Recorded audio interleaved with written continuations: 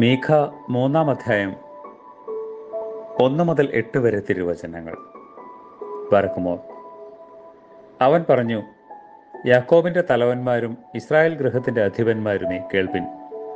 നിങ്ങൾക്ക് ന്യായം അറിയേണ്ടയോ നിങ്ങൾ നന്മയെ ദ്വേഷിച്ച് തിന്മ ഇച്ഛിക്കുന്നു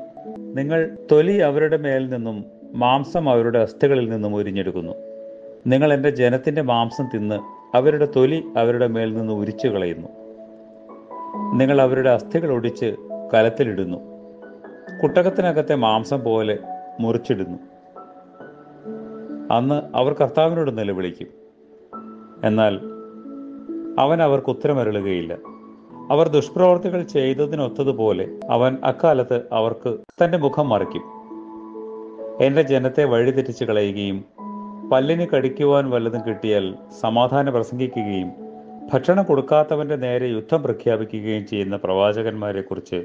കർത്താവ് ഇപ്രകാരം അരളി ചെയ്യുന്നു നിങ്ങൾക്ക് ദർശനമില്ലാത്ത രാത്രിയും ഭാവി പറയുവാൻ കഴിയാത്ത ഇരുട്ടുമുണ്ടാകും പ്രവാചകന്മാർക്ക് സൂര്യൻ അസ്തമിക്കുകയും പകൽ ഇരുളാക്കുകയും ചെയ്യും അപ്പോൾ പ്രവാചകന്മാർ ലജ്ജിക്കും ഭാവി പറയുന്നവർ നാണിക്കും ദൈവത്തിന്റെ ഉത്തരമില്ലായക കൊണ്ട്